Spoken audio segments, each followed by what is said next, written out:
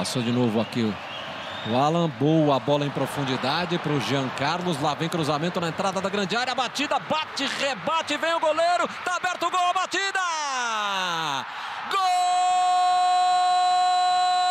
Apontada, abre o placar. A jogada do Jean Carlos. Lucas Barbosa tenta, bate, rebate. E aí na sobra o Gilberto, livre na pequena área abriu o placar para o Juventude. Bot... Pois é, Milton, numa jogada pelo lado esquerdo, a bola está passando bastante pelo Jean Carlos, né? Ele agora há pouco achou um passe. Ih, rapaz! Olha a saída errada do Grêmio. Vai tentar o tiro de fora, Kaique! É o segundo atrás do Internacional. Melhor defesa do Internacional, mesmo fora, já com jogos a menos, evidentemente, né?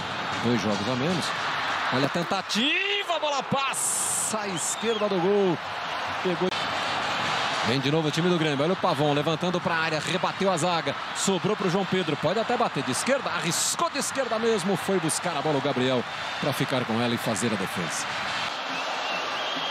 E tome bola longa para a tentativa da velocidade do Pavão. Agora ele chegou para encarar ali o Alan Ruxo. Cortou bonito, foi para cima do segundo, abriu espaço, vem cruzamento na área, o desvio, olha a batida!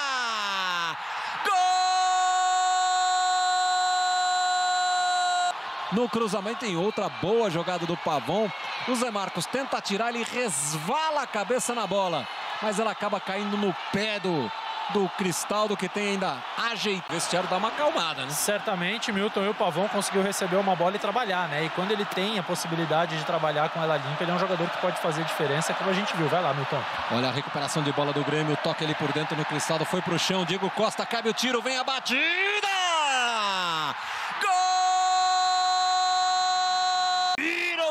jogo em Porto Alegre no finalzinho do primeiro tempo.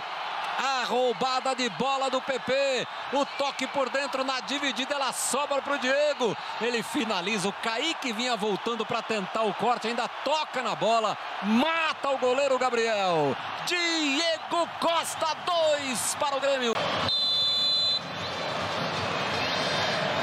Bola roladinha, jogadinha ensaiada para o Gilberto. Ele consegue finalizar, mas já estava muito em cima dele ali o jogador do Grêmio, né? Mesmo assim ele bateu e o Kaique, o Grêmio. Ih, rapaz, meio esquisito, mas acabou dando certo ali.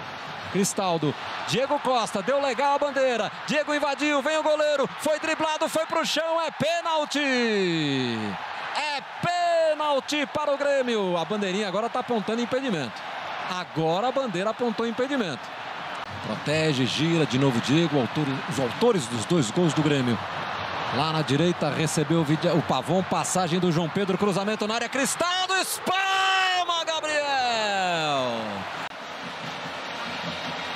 E mais uma vez o Soteudo recupera para o Grêmio, Vidia Sante, linda bola, lindo passe. Lá pelo lado direito o João Pedro para o Diego Costa para marcar o campeonato, dominou, prendeu, rolou para aqui, Natan Fernandes a batida!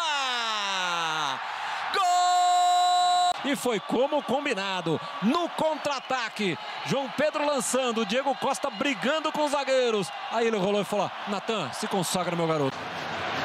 Retoma a posse de bola ali o Vidia Sante. Boa bola pro Natan, que escapa lá na direita. O Vidia vai passando livre. Olha o Soteudo. Ele rolou de calcanhar do Queiroz. Espalma